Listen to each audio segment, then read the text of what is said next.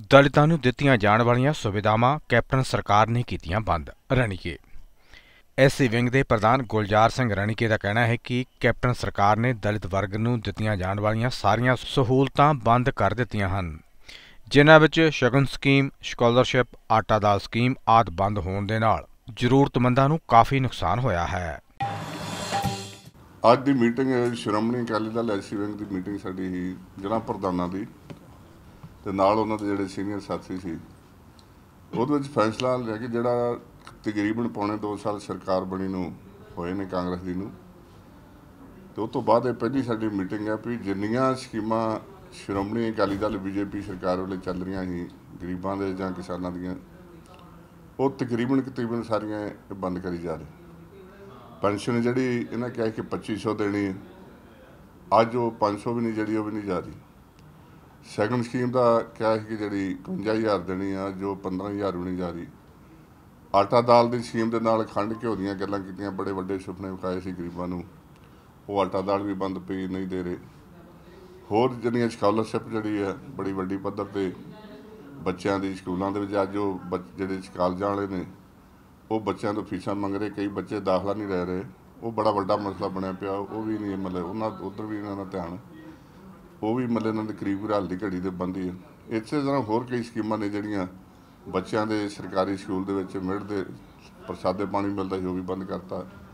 ਔਰ ਸੁਵਿਧਾ ਸੈਂਟਰ ਜਿਹੜੇ ਬੜੇ ਵੱਡੇ ਸੀ, ਜਿਹੜੇ ਗਰੀਬ ਦਿਹਾੜੀ ਲਾ ਕੇ ਵੀ ਉੱਥੋਂ ਆਪਣਾ ਕੰਮ ਕਾਰ ਕਰਕੇ ਸਰਟੀਫਿਕੇਟ ਵਗੈਰਾ ਦੂਜੇ ਤੀਜੇ ਬਣਾਉਣ ਦਾ ਸੀ, ਉਹ ਵੀ ਬੰਦ ਪਈਆਂ। ਸਕਾਲਰਸ਼ਿਪਾਂ ਨੇ ਹੋਰ ਕਈ ਗੱਲਾਂ ਨੇ ਜਿਹੜੀਆਂ, ਉਹਦੇ ਉੱਤੇ ਵੀ ਚਾਪ ਟੰਡਾ ਹੋਇਆ ਵੀ ਗਰੀਬਾਂ ਦੇ ਨਾਲ ਜਿੰਨੇ ਮਸਲੇ ਉਹ ਤਕਰੀਬਨ ਤਕਰੀਬਨ ਸਾਰੇ। ਉਹ ਬੰਦ ਨੇ, ਬੰਦ ਕਰੀ ਜਾ ਰਹੇ, ਬਹਾਨਾ ਲਾਈ ਜਾ ਰਹੇ, ਇਨਕੁਆਰੀਆਂ ਕਈਆਂ ਦੀ ਕੱਢ ਦਿੱਤੇ, ਕਾਰਡ ਕੱਢ ਦਿੱਤੇ ਆ ਪੈਨਸ਼ਨਾਂ ਦੇ ਫਾਰਮ ਜਿਹੜੇ ਉਹ ਲੱਗੀਆਂ ਸੀ, ਉਹਨਾਂ ਦੇ ਕਰੀ ਜਾ ਰਹੇ। ਮਤਲਬ ਪੌਣੇ 2 ਸਾਲ ਦੇ ਲਗਭਗ, ਡੇਢ ਸਾਲ ਦੇ ਲਗਭਗ ਇਸੇ ਚੱਕਰ 'ਚ ਉਹਨਾਂ ਨੇ ਕੱਢ ਦਿੱਤੇ ਨੇ। ਕਿ ਜਿਹੜਾ ਕਿ ਸਾਰਾ, ਅੱਜ ਤਰਾਸ ਤਰਾਸ ਜਿਹੜੇ ਆ ਦਲਿਤ ਵੀਰ ਨੇ, ਸਾਡੇ ਗਰੀਬ ਜਨਤਾ ਨੇ, ਉਹ ਕਰ ਰਹੀ ਆ ਵੀ ਬਹੁਤ ਵੱਡੀ ਇਹਨਾਂ ਨੇ ਸਾਡੇ ਤੇ ਜਿਹੜਾ ਕੁਹਾੜਾ ਚਲਾਇਆ। ਉਹ ਮੀਟਿੰਗਾਂ ਦੇ ਵਿੱਚ ਵੀ ਉਹਦੇ ਡਿਟੇਲ ਸਾਰੀ ਵੀ ਕਿੱਥੇ ਕਿੱਥੇ ਕਿੱਥੇ ਕੱਟੇ ਗਏ ਕਿੰਨੀਆਂ ਬੰਦ ਹੋਈਆਂ, ਕਿੰਨਾ ਸਾਰੀ ਡਿਟੇਲ ਇੱਕ ਤੋਂ ਕੀਤੀ ਹੈ ਕਿ ਪਿੰਡਾਂ ਦੇ ਵਿੱਚ ਜਦੋਂ ਧੱਕੇ ਸਹੀਆਂ ਜਿਹੜੀਆਂ ਚੱਲ ਰਹੀਆਂ ਮਾੜੀਆਂ, ਉਹਨਾਂ ਦੇ ਗਰੀਬਾਂ ਦੇ ਅਤਿਆਚਾਰ ਜਿਹੜਾ, ਉੱਥੇ ਕਿਹਾ ਕਿ ਜ਼ਿਲ੍ਹਾ ਪ੍ਰਧਾਨਾਂ ਦੇ ਨਾਲ ਵੀ ਉਹਨਾਂ ਦੀ ਰਿਪੋਰਟ ਜਿਹੜੀ ਨਾਲ ਦੋ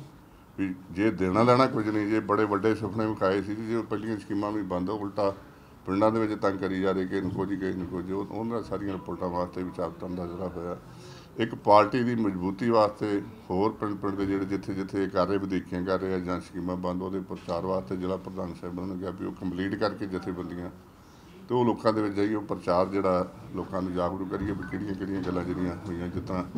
ਹੋਰ ਬਾਕੀ ਵਰਗਾਂ ਦੇ ਨਾਲ ਕਿਸਾਨਾਂ ਨਾਲ ਜਾਂ ਨੌਜਵਾਨਾਂ ਨਾਲ ਨੌਕਰੀਆਂ ਦੇ ਕੀਤੇ ਇਹਨਾਂ ਨੇ ਹੋਈਆਂ ਗੱਲਾਂ ਸਾਰੀਆਂ ਜਿਹੜੀਆਂ ਅੱਜ ਇੱਕ ਵੀ ਜਿਹੜੀ ਉਹ ਪੂਰੀ ਨਹੀਂ ਹੋਈ ਤੇ ਕਿਸੇ ਵੀ ਪਿੰਡ ਦੇ ਵਿੱਚ ਅਜੇ ਤੱਕ ਪੰਜ ਪੈਸੇ ਨਹੀਂ ਕਿਤੇ ਗਏ। ਉਹ ਪਹਿਲੀਆਂ ਜਿਹੜੀਆਂ ਗਰਾਂਡਾਂ, ਸ਼੍ਰੋਮਣੀ ਅਕਾਲੀ ਦਲ, ਬੀਜੇਪੀ ਸਰਕਾਰ ਵੱਲੋਂ ਹੀ ਉਹ ਵੀ ਬੰਦ ਕੀਤੀਆਂ ਤੇ ਹੁਣ ਉਹਨਾਂ ਪ੍ਰਬੰਧਕ ਲਾਤੇ ਪੰਚਾਇਤਾਂ ਦੇ ਸਾਰੀਆਂ ਦੇ, ਖਾਸ ਕਰਕੇ ਜਿਹੜੇ ਗਰੀਬਾਂ ਦੇ ਤੇ ਉਹਨਾਂ ਪਹਿਲਾਂ ਲਾਤੇ। ਹੁਣ ਉਹਨਾਂ ਦੇ ਵੀ ਲਾਤੇ ਜਦੋਂ ਕਿ ਹਾਲੀ ਜਿੰਨਾ ਚਿਰ ਨੋਟੀਫਿਕੇਸ਼ਨ ਨਹੀਂ ਹੁੰਦਾ, ਲੱਗ ਨਹੀਂ ਸਕਦੇ, ਉਹ ਵੀ ਉਹਨਾਂ ਨੇ ਸੰਵਿਧਾਨ ਦੇ ਉਲਟ ਜਾ ਕੇ ਕੰਮ ਕੀਤਾ ਵਿਧਾਨ ਦੇ। ਇਸ ਕਰਕੇ ਇਹਨਾਂ ਦੇ ਸਾਰੇ ਵਿਚਾਰ ਵਟਾਂਦਰਾ ਹੋਇਆ ਵੀ ਇੱਕ ਦੇ ਪਾਰਟੀ ਦੀ ਮਜ਼ਬੂਤੀ ਵਾਸਤੇ